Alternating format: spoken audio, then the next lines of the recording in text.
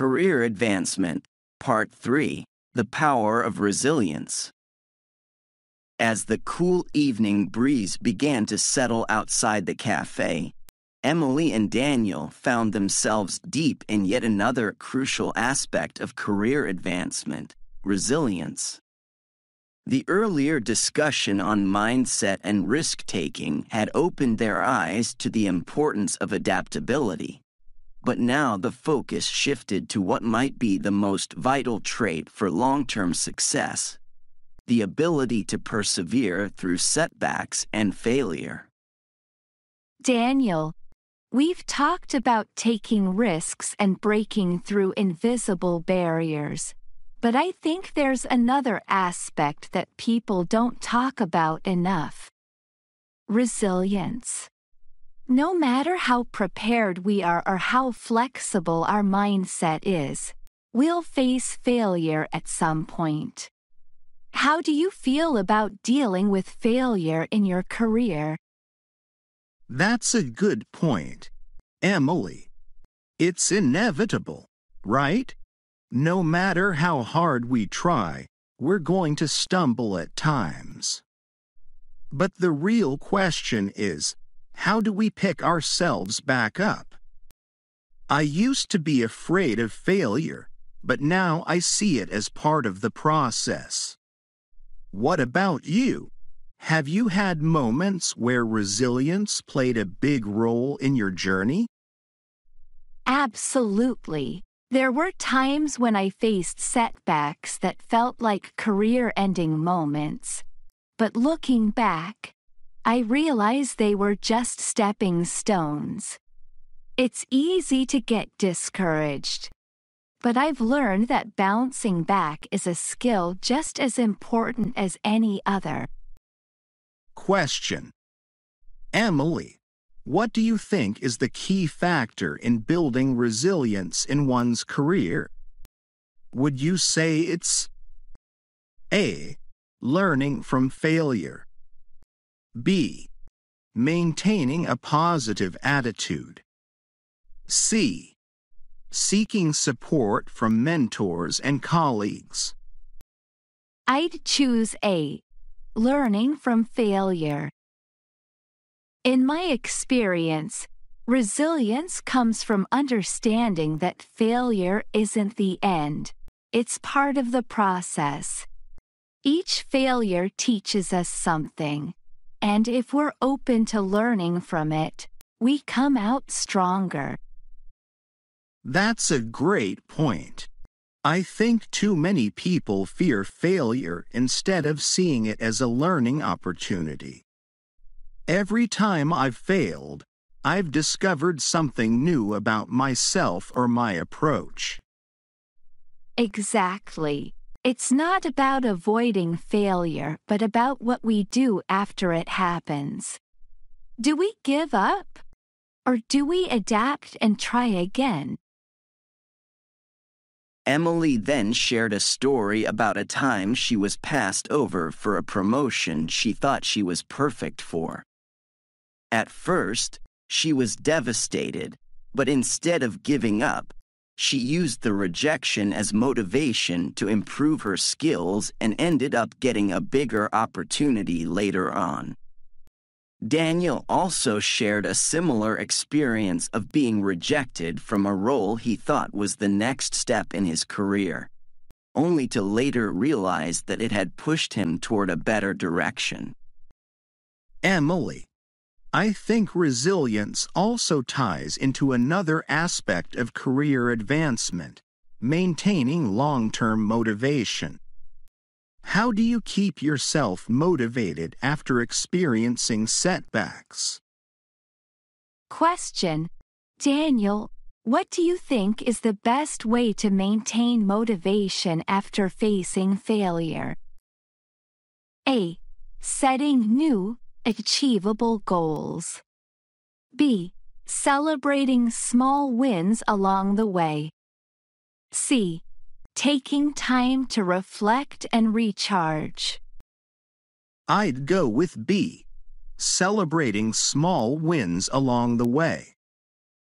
I've found that after a failure, it's easy to feel overwhelmed by how far we still have to go. But celebrating the little victories helps remind me that progress is happening, even if it's slow. It keeps me focused and motivated. That's so true. Sometimes we get caught up in the bigger picture and forget to acknowledge the small achievements that show we're on the right track. I've found that when I stop to appreciate the small things, it gives me the energy to keep going. Exactly. I think small wins are like stepping stones. They might not seem like much at first, but they lead us toward bigger goals. And, of course, taking time to reflect is also important to make sure we're still heading in the right direction. Their conversation turned to the importance of finding balance in their careers.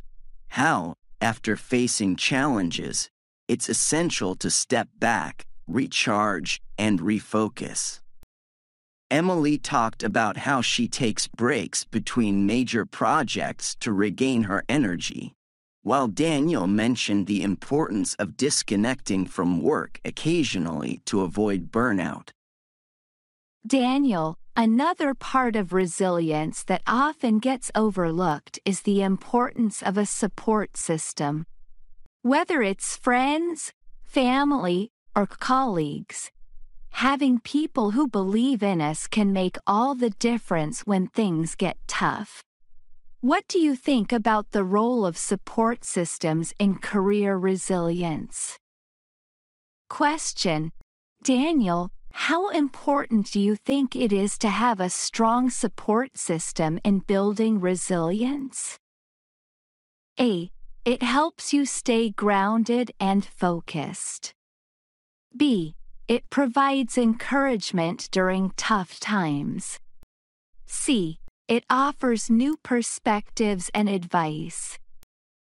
I'd say B. It provides encouragement during tough times. When we're going through a rough patch, it's easy to lose perspective and feel like we're failing alone. But having people around who believe in us can make all the difference. Their encouragement can be the push we need to keep going. I couldn't agree more. There have been times when I was ready to give up. But just talking to a mentor or a close friend helped me see things differently. It's easy to get lost in our own doubts, but having that external support brings clarity. Exactly. And sometimes, we just need someone to remind us that setbacks are normal and they don't define our entire journey. As their conversation deepened, they both acknowledged the importance of community in their professional lives. They agreed that resilience wasn't something built in isolation, it was cultivated through the help of those around them. I think what we've discussed today really highlights the fact that resilience is multifaceted. It's about learning from failure, celebrating progress, and leaning on others when necessary. Do you think resilience is something that can be actively developed? Or do you think it's something you're born with? I believe it's something that can be developed over time. No one is born with unlimited resilience, but the more challenges we face, the stronger we become. Every setback is an opportunity to build resilience if we approach it the right way. Exactly. And the more resilient we become, the easier it is to keep moving forward in our careers no matter what obstacles come our way. As they reflected on everything they had talked about mindset, risk taking, preparation, and now resilience Emily and Daniel felt that they had a clearer understanding of the factors that truly drive career advancement. It wasn't just about technical skills or professional networks. It was about the ability to keep pushing forward when things got tough. As the cafe began to empty and the night drew in, Emily and Daniel walked out with a newfound appreciation for resilience knowing that with the right mindset, support, and perseverance, no career challenge was insurmountable. Here are five final words and phrases related to the theme of career advancement the power of resilience. Resilience. The ability to recover from setbacks and keep moving forward despite challenges. Failure. The act of not achieving a goal, which can be a valuable learning experience in career growth. Motivation. The drive or desire to keep pursuing goals, even after encountering obstacles. Support system. A network of friends, family, colleagues, or mentors who provide emotional and professional encouragement. Small wins. The minor achievements that help maintain momentum and motivation over the long term.